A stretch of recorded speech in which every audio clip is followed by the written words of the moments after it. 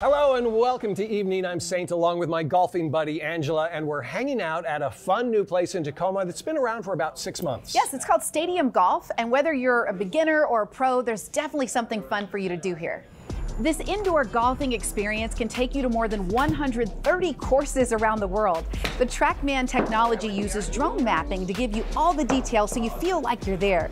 They even have games here like Bullseye, Closest to the Pin, and Capture the Flag. I just wish I knew how to play.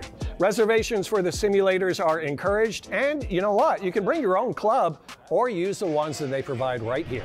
This creates a little bit more like an open, casual space. Like you get to see other people playing golf. The experience is really shared with other people versus some other locations where they're more secluded.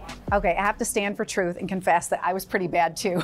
well, better than I was. All right, well, a big part of this experience is the food, and we're going to be showcasing that a little bit later in the show.